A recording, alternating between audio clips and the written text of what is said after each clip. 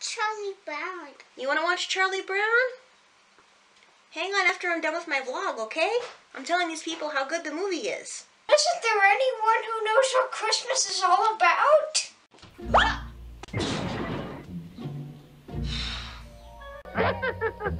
Very funny. Hey guys, and welcome back to another film review by The Clumsy Jedi. Today's film is my absolute favorite TV Christmas TV special, which is A Charlie Brown Christmas. It originally aired in the year 1965, was directed by Bill Melendez, and included the vocal talents of Peter Robbins, Christopher Shea, Sally Dryer, and Kathy Steinberg.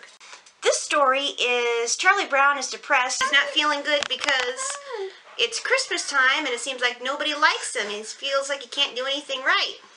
And he's also depressed about the commercialism of Christmas and wants to know the true meaning. And of course, Linus is the one who brings it to light and reminds everyone what Christmas is all about.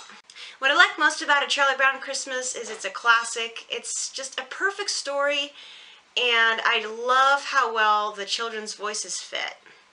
On the flip side of that, the voice acting could be a little bit better, but given the fact that only one of those children had acted before, all of them were amateurs and they were very small. It's extremely family friendly. There's, it's just, it's cute. It's perfect. The scoring for A Charlie Brown Christmas, the story, like I said, it's perfect, and I'm not using that term lightly. It's so sweet and innocent and embraces the true meaning of Christmas, and it so I get the story a 10 out of 10. Hat. The voice acting, like I said, it was very amateurish and had to be sort of pasted together, even though the voices themselves fit the characters. So I have to give the voice acting a 7.5 out of 10.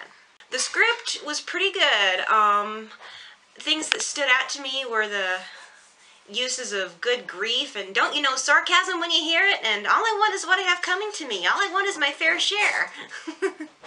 it's so kid, you know? So I have to give the script a 9 out of 10. The humor, it was pretty funny. Like uh, like in most of the others, Snoopy is the funniest part. And the, um, the dun dun dun dun dun with the music, action, and Schroeder starts playing Linus and Lucy and everyone's dancing. That's great. So the humor gets an 8.5 out of 10. Music, it's music that's become classic by now, so it gets a mm-hmm. 10 out of 10. Animation, it's very good. I love it. I use it as models to draw my Charlie Brown style characters, so it's a 9 out of 10. Giving A Charlie Brown Christmas a Clumsy Jedi final score of 9 out of 10. What do you think of the scoring? Do you agree, disagree? Post a comment below. Next week, I'm going to start reviewing Christmas comedies. Included in this list is The Santa Clause, Home Alone, Elf, a lot of popular movies. So until then, this is the Clumsy Jedi and my guest signing off. Bye! No, to the camera. Wave bye! Bye. Your funny Christmas hat. A funny Christmas hat?